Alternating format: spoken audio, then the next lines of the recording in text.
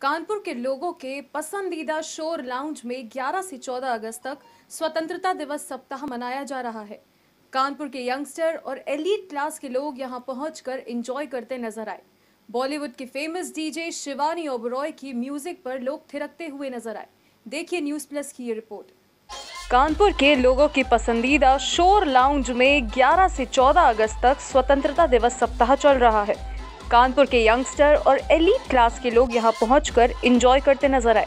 बॉलीवुड की famous DJ Shivani Oberoi के music पर लोग थिरकते हुए भी नज़र आए और फोटोग्राफर कशिश के लिए लोग पोज बनाते हुए दिखे। स्वतंत्रता दिवस सप्ताह के दौरान लोगों की खास फरमाइशों पर special bartenders special cuisines chef specials का लुत्फ लेते हुए लोग नज़र आए। वहीं शाम को रंगीन बनाती सिंगर ने भी रंग को जमा दिया। शोर में लेकर पर टू प्लस वन और पंद्रह प्रतिशत फ़ूड बिल पर डिस्काउंट का ऑफ़र भी चल रहा है।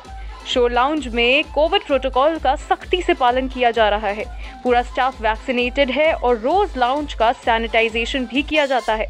आप भी इस मौके का फ़ायदा उठाइए और कानपुर में दिल्ली या मुंबई की मस्तियों का मज़ा लीजिए और जाइए स्वरूप नगर स्थित शोर लाउंज में ताज़ा तरीन खबरों को जानने के लिए देखते रहिए News Plus. News Plus twenty four into seven channel को सब्सक्राइब करें, अपडेट के लिए बेल आइकन को दबाएँ।